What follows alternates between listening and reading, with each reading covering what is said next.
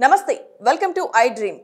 మహారాష్ట్రలో శనివారం తెల్లవారుజామున జరిగిన ఘోర రోడ్డు ప్రమాదం తీవ్ర విషాదాన్ని నింపింది. ఘటన సమయంలో ప్రయాణికుల్లో చాలా మంది నిద్రిస్తున్నారని బస్సు కాలిపోవడంతో వారు నిద్రలోనే సజీవ దహనమయ్యారని తెలుస్తోంది. బుల్దానా జిల్లాలో జరిగిన ఈ ప్రమాదంలో కొందరు ప్రయాణికులు బస్సు కిటికీలు పగలగొట్టి ప్రాణాలతో బయటపడ్డారు. వారిలో ఒకరు మీడియాతో మాట్లాడారు. మహారాష్ట్రలో జరిగిన బస్సు ప్రమాదం గురించి సంచలన విషయాలు బయటపడ్డాయి.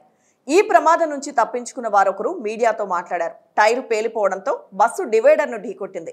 దాంతో క్షణాల్లో బస్ అంతా మంటలు వ్యాపించాయి. వెనుక వైపు కిటికీలు బద్దలు కొట్టి నా తోటి ప్రయాణికుడు నేను బయటపడ్డామని ఆ ప్రయాణికుడు తెలిపాడు. ఈ ప్రమాదంపై స్థానికుడు ఒకరు మాట్లాడుతూ కిటికీ అద్దాలు పగలగొట్టి నలుగురు ఐదుగురు బయటపడినా అందరూ అలా చేయలేకపోయారని చెప్పారు.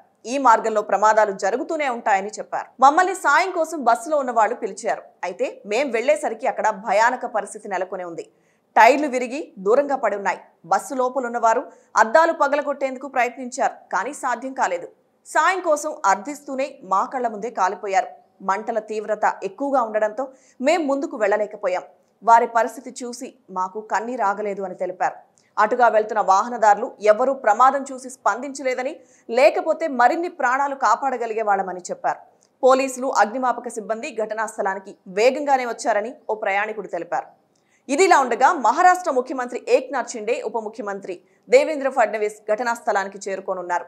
ఈ విషాద సమయంలో బస్సులో ముప్పై నాలుగు మంది ప్రయాణికులుండగా ఇరవై ఐదు మంది సజీవ దహనమయ్యారు. మిగిలిన వారికి స్థానిక ఆసుపత్రుల్లో చికిత్స అందుతోంది. మహారాష్ట్ర బస్సు ప్రమాద ఘటనపై బీఆర్ఎస్ జాతీయ అధ్యక్షుడు తెలంగాణ ముఖ్యమంత్రి కె. చంద్రశేఖరరావు సంతాపం తెలిపారు. మరణించిన వారి ఆత్మకు శాంతి చేకూరాలని వారి కుటుంబ సభ్యులకు తన ప్రగాఢ సానుభూతిని వ్యక్తం చేశారు. గాయపడిన వారు త్వరగా కోలుకోవాలని కేసీఆర్ ఆకాంక్షించారు.